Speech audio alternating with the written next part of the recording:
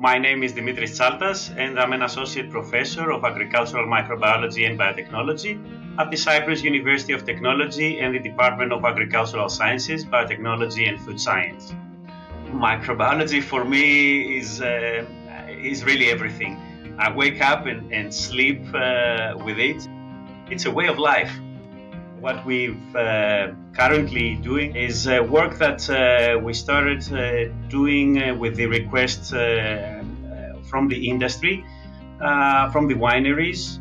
we're trying to see if there are different microbes occupying the must and the final product, the wine, from from the different regions. So using it as a as a stamp, as a fingerprint of the wines, the microbiota of its area. My name is Andreas Psaras. I'm the director of Makkas Winery. We started this uh, new winery in two, that was in 2007 with a small production, but uh, we were using yeast from uh, international companies. We did think that it would be a good idea to try to develop yeast from local varieties, and this is what we did. I connected uh, with Andreas through friends. He was looking for bringing something new into his company. He's more into the business world. I'm in the microbiology, uh, into the science uh, side. So it was a, a, good match. So uh, we went out, collected a lot of samples from the vineyards, from grapes, from leaves, and isolated quite a few of uh, yeasts, screening a, a, large collection over um, 600 isolates. We identified 10. Out of those 10, one was really quite unique. Uh, is producing, according to the experts, the, the enologists, a unique aroma. Uh, it's an aroma of uh, jasmine, quite unique. Uh, haven't been uh, before reported in uh, yeasts involved in uh, wine fermentations. So it was a, a very interesting uh, finding, and uh, it has been uh, used uh, for the last um, three years now on fermentations from Andreas winery. Now in the 2020 harvest, we are making around 20,000 bottles of wines the Xynisteri, one of the Cypriot varieties with this yeast. And uh, all the people, experts, uh, wine experts who tasted these uh, wines, they were impressed. They liked the wines, and we look forward to building on it. My name is uh, Minas Mina. I am uh, the head winemaker and general manager of Kyperounda Winery. We started with uh, Dimitris working in um, optimizing the conditions of fermentation. He was interested in um, the applications of uh, wine uh, biotechnology.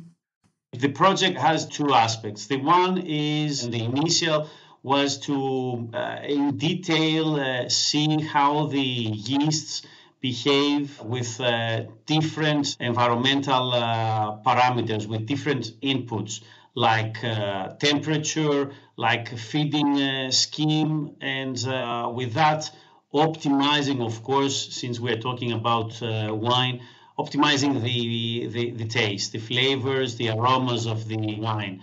And the second uh, part is getting into more um, high tech uh, metatranscriptomic analysis and seeing what genes are affected, what we turn on, what we turn off, from the, the yeast gene repertoire that is involved and targeted primarily to uh, the flavor that uh, the yeast is helping, is enhancing, is producing also in the must uh, environment that is is living in.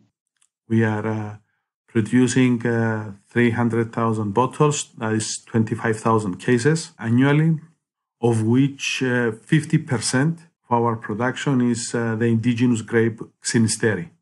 We are looking into establishing a, a more clearer type of white wine from Xynisteri. This is why we are putting a lot of effort and the research behind this, uh, this variety.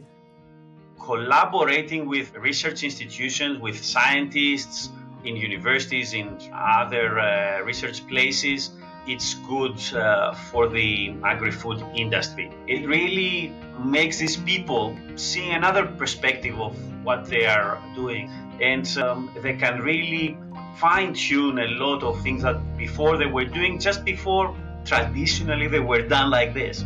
In over the last couple of years, my team is is publishing uh, constantly, and I'm, I'm quite happy for this. I mean, loads of data to give out. And uh, at the same time, it's something the university, of course, uh, appreciates. So, a lot of interesting and, and important features out of this research and I think that everybody wants to be living something that it really pays off, seeing that your uh, research is directly involved in intangible things. I mean, what nicer than uh, working with something that at the end of the day it's not going to kill you? You can uh, have a sip and really enjoy.